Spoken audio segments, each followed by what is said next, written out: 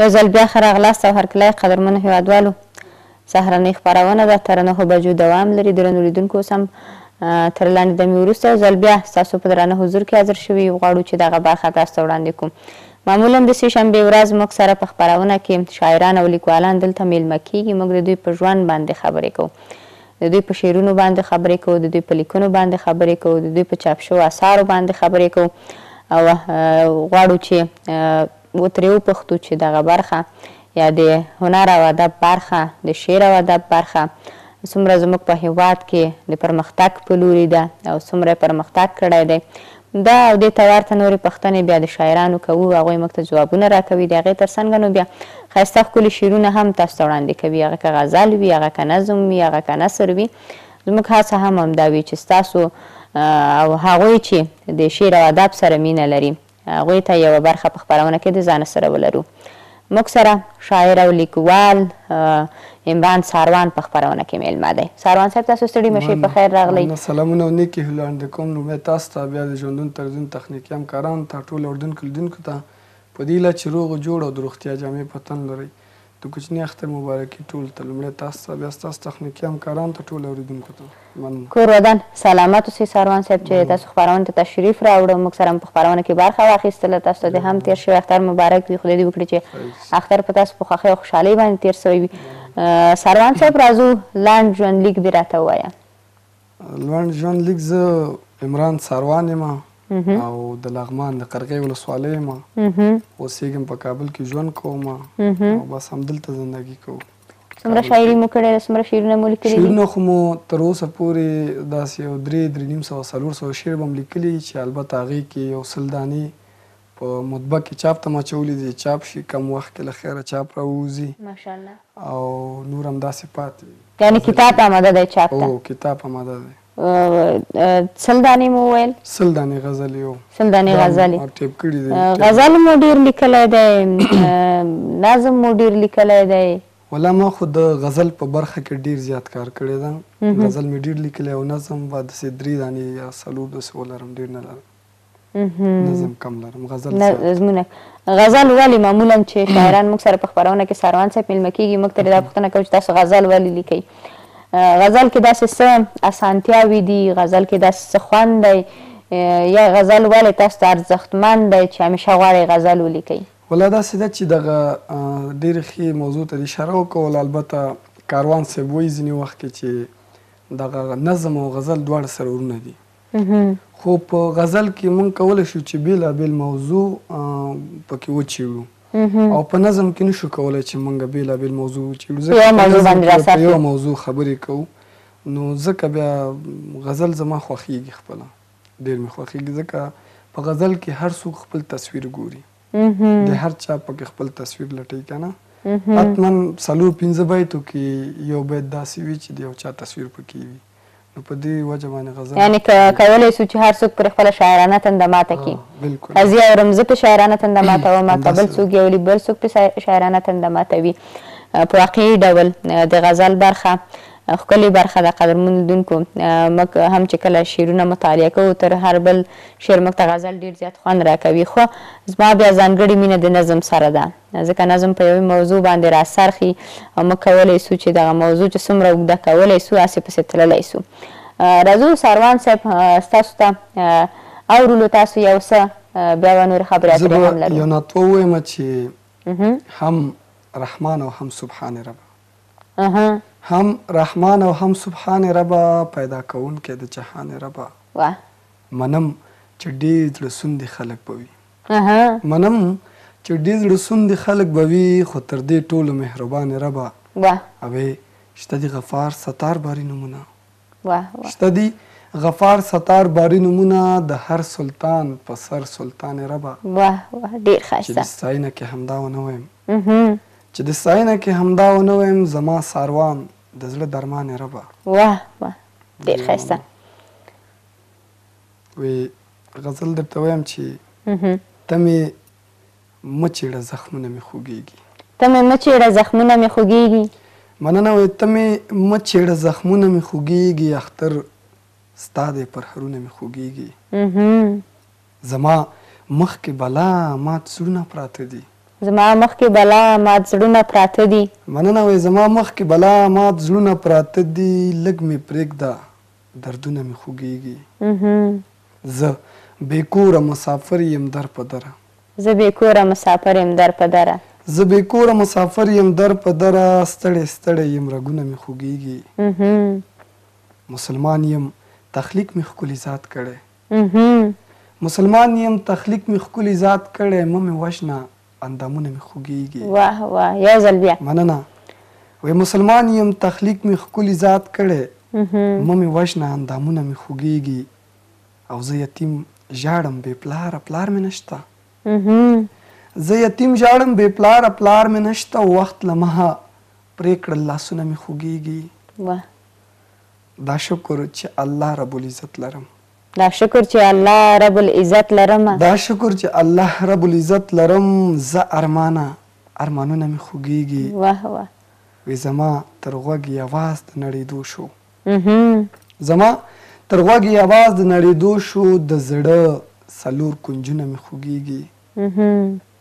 او د یار سپیڅلې مینه چې رسوا نه کړئ د یار سپیڅلې مینه چې رسوا نه کړئ خلکه چپ شئ امیدونه مې خوږیږي او نیمه شپه دا تنهایی سړی خراب کړي نیمه شپه دا تنهایی سړی خراب کړي مننه وای نیمه شپه دا تنهایی سړی خراب کړي ساروان ستا یمه بیتونه مې خوږیږي اختر ستا دی پرهرونه مې خوږیږي. اختر ستا دی پرهرونه مې خوږیږي د سروان صاحب ښایسته غزل وو چې په سهرنۍ خپرونه کې تاسو ته نشر ته وسپارل شو خپله سروان صاحب په خپل خوږ غږ باندې تاسو ته وړاندې کوم ډیره مننه ترینه کوو سروان صاحب راځو پښتو ادب ته کار څنګه ارزوئ؟ په دې وروستیو کې چې د ځوانانو پرمختګونه ګورو، د ځوانانو شاعري ګورو، د ځوانانو لیکوالي ګورو، د ځوانانو ژباړې ګورو، د ځوانانو د کتاب چاپول ګورو، پښتو ادب ته کار څنګه ارزوئ؟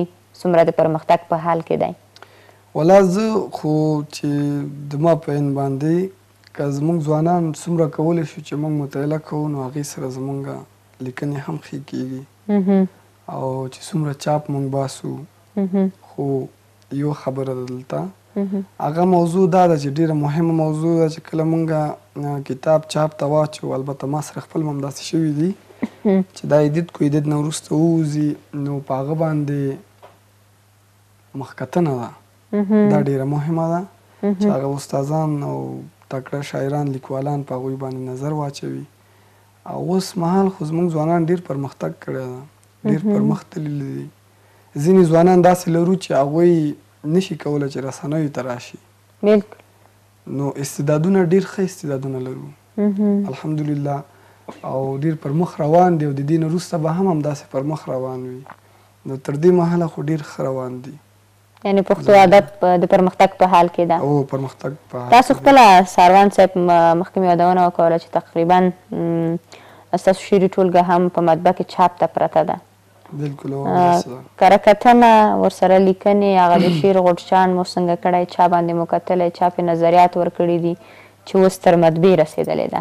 ولا ډیر موضوع ته اشاره وکوله چی دغه زما کوم کتاب چی چاپیږي دغه شعرونه تقریبا سل دانې دي داسې غزلې دي ټولې او البته زما استاد د پیر محمد کاروان صاحب او لمړی یو سلام کاروان صاحب ته کوم که اوس مهال زموږ خپرونه ګوري نو کاروان صاحب زموږ سره همیشه ملتیا کړې ده او دغه زما شعرونه چې کوم چاپ ته برابر دي په دې کې له ما سره ډېره مرسته کړې ده کاروان صاحب باندې هم کتلي دي شګیوال صاحب باندې پرهیز شګیوال مننه کوم له دوی نه چې دوی راسره په دې کتاب کې ډېره مرسته وکوله او دغه شعرونه زما په کاروان صاحب باندې هم کتلي کره کتلي هغه تر مطبعې مو رسولې ده او تر مطبعې مو طبعا چې نوم به مو ورته هم ټاکلی وي ولا چې نوم به کاروان صاحب وټاکي یعنی نوم تر څو نه ده ټاکلی نوم تر اوسه نه ده ټاکل شوی ځکه هغه کې څلور اویا دانې ما رسولې وې او نورې پاتې وې چې هغه هم پکې یو څه کم دي باید دا پوره شي.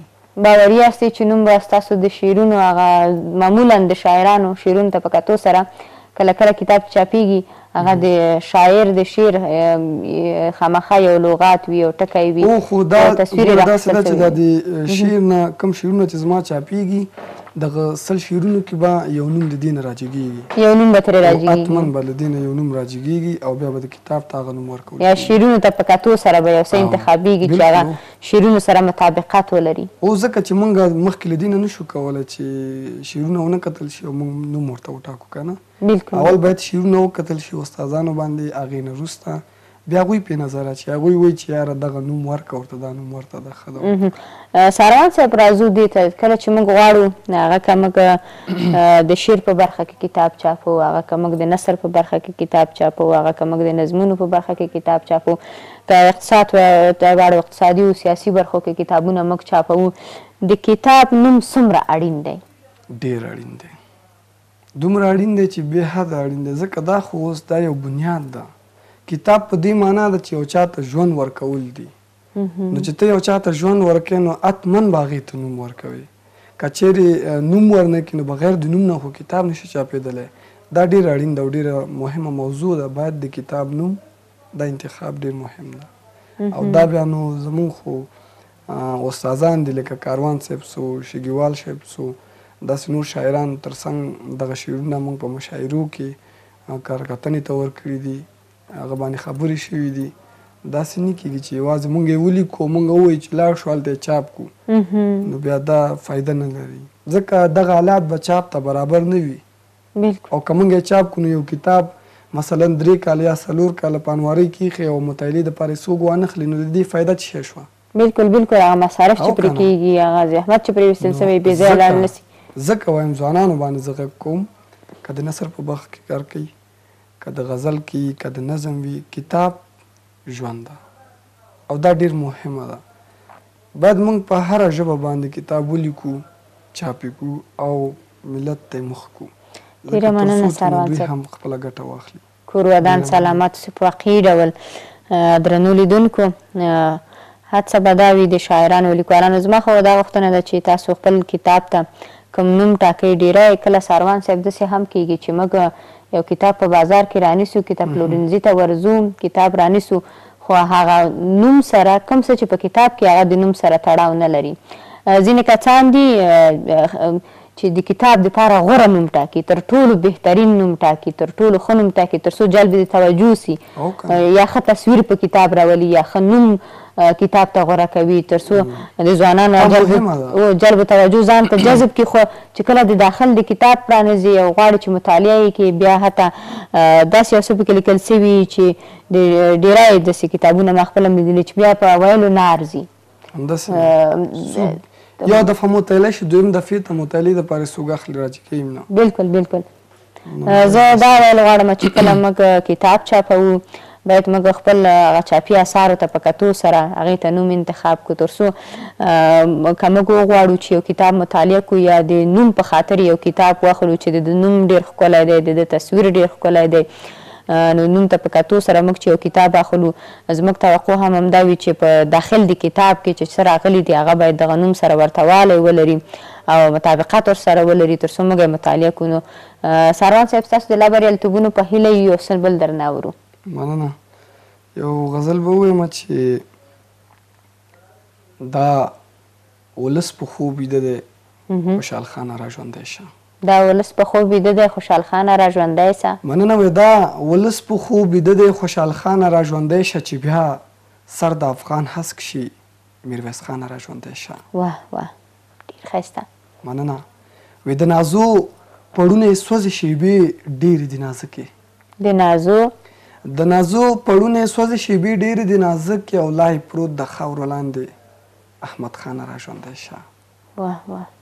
چې د جهل دې تیرو ته بیا څراغ د روښنای شي چې د جهل دې تیرو ته بیا څراغ د روښنای شي پیران پریږده چې ویده وي پیر روښانه را ژوندی شه. واه واه. وې چې تا نه مني ما نه مني غواړي یو افغان جدا کړي. اها. چې تا نه مني ما نه مني غواړي یو افغان جدا کړي او قیادت ته دې حاجت دی بیا امانه را ژوندی شه. اها. وې کور مو وسو مال مو لوټ شو ستا د ننګ په لوی کابل کې. اها. کور مو وسو مال مو لوټ شو ستا د ننګ په لوی کابل کې څوک د سوال را پاتې نه دي اکبر خانه. را ژوندی شه. واه واه. د میوند دښته سپیره ده د ملالې لنډۍ مړه ده. د میوند دښته سپیره ده د ملالې لنډۍ مړه ده او د پګړۍ ولونه دې وران شوي ایوب خانه را ژوندی شه. واه واه. وې ستا په قبر واښه شنه شو د دښمن ساه شوه ارامه. ستا په قبر واښه شنه شو د دښمن ساه شوه ارامه د انګرېز میراث تازه شو صمد خانه را ژوندی شه. واه واه. دا باید دې ټولو پښتنو ته ډالۍ وي چې ستا د کور او ګور تر منځ د دېوال تهداب کیند شي. ستا د کور او ګور تر منځ د دېوال تهداب کیند شي پښتنو کې پاچا نشته پاچا خانه را ژوندی شه. وای وای. ډیر خایسته او نه په چا باندې تیری کړو نه د چا تیری زغمی شو ها نه په چا باندې تیری کړو نه د چا تیری زغمی شو مننه وای نه په چا باندې تیری کړو نه د چا تیری زغمی شو د خپل کور اختیار مو حق دی پښتون ځوانه را ژوندی شه واه واه ډیر خایسته یو ځل بیا وای وی نه په چا باندې تیری کړو نه د چا تیری زغمی شو د خپل کور اختیار مو حق دی پښتون ځوانه را ژوندی شه. واه واه ډیر ښایسته. چې بیا سر د افغان هسک شي میرویس خانه را ژوندی شه. ډیره مننه کور ودان سلامت اوسې ساروان صاحب را به سو دې ته چې که موږ وګورو ستاسو د بیتونو نه د لغاتونو تبادله د لغاتونو ورته والی لغات لوبول په غزل کې دا هغه کسان کولی سي چې په دغه برخه کې ډیره زیاته مطالعه ولري. د یو شاعر دپاره چې ښه شاعر جوړ شي، ښه غزل ولیکي، ښه لغاتونه ولوبوي، مطالعه څومره اړینه ده؟ ګوره ټول نه مهمه خبره ما مخکې هم ویله چې مطالعه ډېره مهمه ده. که چېرته مطالعه نه اوسي نو موږ نه شو کولی چې یو څه ښه ولیکو. ځکه همدا مطالعه ده چې موږ یو ځي ته رسوي. بلکل بلکل. او بیا موږ سره دلته ډېر ښه شخصیتونه لرو موږ په افغانستان کې. البته همدسې عبدالباري جهاني صاحب شو تاریخي څېړنې کتاب ده چې په هغه کې مونږ ډېره مطالعه کړې ده او ډېر کار هم پکې کړی ده واقعا نو که چېرته مونږ مطالعه ولرو نو مونږ کولی شو چې یو حد ته ورسېږو او که مطالعه ونه لرو نو زمونږ فکر او زمونږ خیال بیا هلته نه رسېږي چې چېرته زمونږ فکر ته ځي بلکل څاروان صاحب یو څه له تاسو اورو بیا به وروسته خدای پاماني وکړو ولې نه غزل به وړاندې کړم چې زما جانان زما ارمان څومره ښایسته دی زما جانان زما ارمان څومره ښایسته دی مننه وې زما جانان زما ارمان څومره ښایسته دی زمونږ په کلي کې ګزران څومره ښایسته دی واه واه چې جوړه د الینګار درې ته لاړ شو چې جوړه د الینګار درې ته لاړ شو بیا به وایې چې لغمان څومره ښایسته دی واه واه وي چې جوړه د الینګار درې ته لاړ شو بیا به وایې چې لغمان څومره ښایسته دی وي یو هندو چې مسلمان شو بیا یې وویل یو هندو چې مسلمان شو بیا یې وویل خدایه ته او ستا ایمان څومره ښایسته دی وي بندګان دي ستا ناپوه او ناشکره بندګان دي ستا ناپوه او ناشکره لاندې ځمکه پاس اسمان څومره ښایسته دی او مړه ته ورباندې هسې کړې نازونه مړه ته ورباندې هسې کړې نازونه او راشه وګوره عمران څومره ښایسته دی او زمونږ په کلي کې ګذران څومره ښایسته دی ډیر زیات ډیره ښایسته مننه کوم ډیر زیات په زړه پوري مننه او دغه برخه ډیره ښایسته برخه معمولا چې زه ورسره خپله ډیره زیاته مینه لرم ځکه شاعرانو ادیبانو او لیکوالانو سره ناسته ولاړه دا هغه څه دي چې د انسان په ژوند باندې مثبت تاثیرات لرلای شي او نن د همدوی کتابونه دي، نن د همدوی چاپ شوي اثار دي چې موږ یې مطالعه کوو، یو څه تر تاسو در رسوو، هغه که په بېلا بېلو برخو کې دوی هڅه کړې وي، کتابونه یې چاپ کړي وي. ساروان صاحب څه پیغام لرئ خپلو هېوادوالو ته؟ مننه، بس تاسو د نظم غوښتنه وکوله او داسې یو لنډ نظم ده، دا به تاسو ته ډالۍ کړم. مننه قربان، ژوندي اوسئ، سلامت اوسئ. دا یتیم بچی ګوری دا یتیم بچی ګوری ده سومره کمکی ګوری ناست ده نانوایی خواته هر چا نه دا سوال کوی ماته یو ډوډی واخله او ده په لس روپی واخله وږی یم نهر یم او ښکلی په بشر یم تاته په نظر یم او سومره متبر یم امت ده پیغمبر یم ګل نه دی تنکی ګوره ده سومره کمکی ګوره. ګل نه دی تنکی ګوره. ګل نه دی تنکی ګوره ده څومره کمکی ګوره دا به هم د چا زړه وي دا به هم د چا لېمه وي سحر وځي له کوره د خور د سترګو تور او د مور د زړه ټکوره د سپنو کړي لوګی ګوره ده څومره کمکی ګوره. وې جو یا یا بې سوادي نه وای کاشکې بدبختي نه وای جوړ به دا وطن ولو دا به هم ګلشن ولو پریښی که دښمن ولو سوځي مې زړګی ګوره. دا څومره کم کئ ګوره وای دلته زندګی می ده دغه مجبوری می ده زه کومی خوا تلی نه شم دا خواران لیدی نه شم خپل زړه پوهوی نه شم زمانی سخته یاری ده ژوند په ذلالت کیږی دلته بغاوت کیږی مرګ په حقیقت کیږی او ښار نه می نفرت کیږی واه واه. وجنی خان سړی ګوره دا څومره کم کئ ګوره.